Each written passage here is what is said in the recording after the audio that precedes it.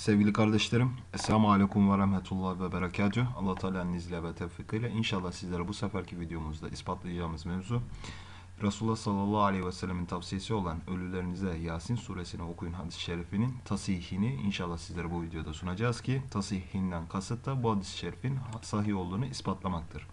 Resulullah sallallahu aleyhi ve sellem buyuruyor ki İkra'u Yasin ala mevatikum mevtakum Mealen Resulullah sallallahu aleyhi ve buyuruyor ki ölülerinize Yasin suresini okuyun. Ebu Davud rahmetullahi aleyh kendi sünneninde bunu zikretmiştir. 3121 numaralı hadisinde.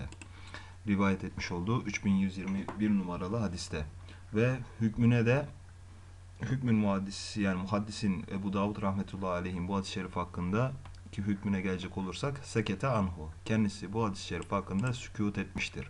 Ama sükut etmesinin delalet ettiği mana ise şudur ki ve kad kâle fî risaleti ile ehlil Mekke kullu ma sekete anhu fehuve salihun.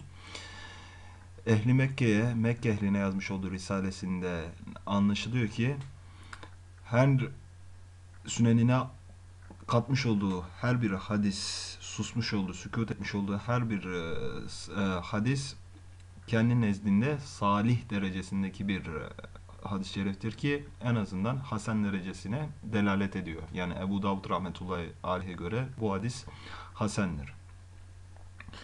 Ve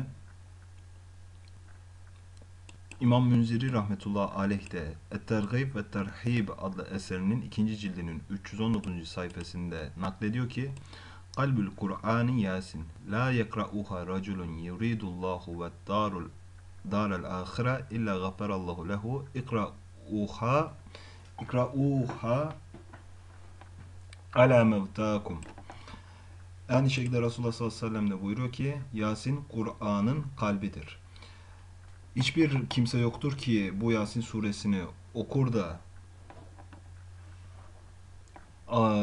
bununla beraber ahireti ve Allah'ı ister. Ancak Allah ona mağfiret eder ve aynı şekilde Resulullah sallallahu aleyhi ve sellem buyuruyor ki ölülerinize bu sureyi okuyun.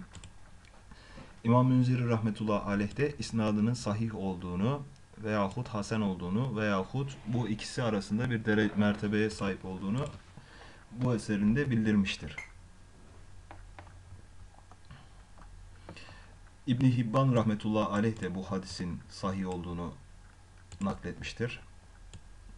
Ebu Davud, İmam Münziri, İbn Hibban bu hadisin makbul olduğunu bizlere gösteriyor.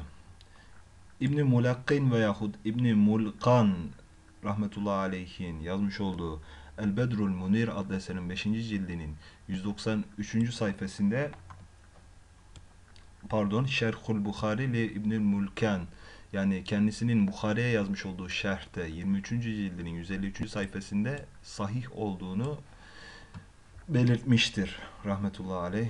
Bu kadar ispat bence yeterli. Amin velhamdülillahi rabbil alemin.